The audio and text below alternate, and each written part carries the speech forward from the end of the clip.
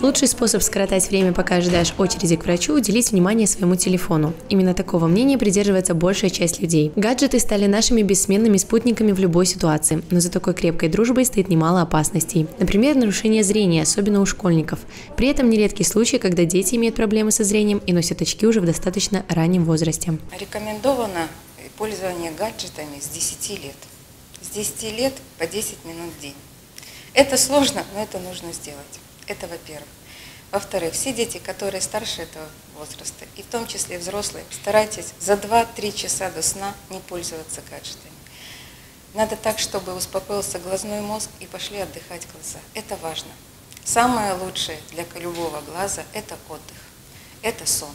Поэтому вы устали, идите поспите, пусть отдохнут ваши глаза.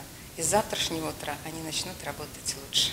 Учебный процесс связан со значительным ростом нагрузки на глаза. Об этом не понаслышке знает восьмиклассник Ян Соколовский. Не так давно врачи обнаружили у него признаки астигматизма, и этот неприятный диагноз заставил Яна трепетнее отнестись к своему здоровью. Мама Яна рассказывает, что помимо мониторинга качества зрения, они стараются соблюдать рекомендации врача и ограничивать время, которое сын проводит с гаджетами. Он сам понимает, что в принципе э, везде должен быть предел разумный, то есть и пользование интернетом, и использование э, там, того же телевизора, э, просмотр новостей. Ну, как-то он у нас достаточно серьезный парень, поэтому с этим вопросов сильно не возникает. В первую очередь, вы же дома видите, когда ребенок начинает щуриться.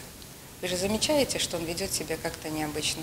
Он начинает в школе плохо усваивать информацию, пропускает, что на доске написано. Это тоже обращаете на себя внимание, думаете, что он невнимателен. Но на самом деле надо спросить его, как ему видно, с доски или не видно. И даже самому просто спросить, выйди на улицу, посмотреть что-нибудь вдали, спросить, видит он этого или не видит.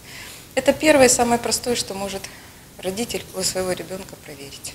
Проверить зрение несложно, но благодаря этому можно решить проблему еще на раннем этапе. И провести первый осмотр можно и в домашних условиях. Для того, чтобы ваш ребенок на выпускном балу не был обременен неприятным прозвищем очкарик, позаботиться о его здоровье необходимо уже сейчас. Сейчас время прогресса, любой родитель может вывести себе таблицу вот такую для остроты зрения, поставить дома на расстоянии 5 метров и проконтролировать свое любимое, любимое чадо, видит он или не видит. Это для себя даже, так каждый человек может.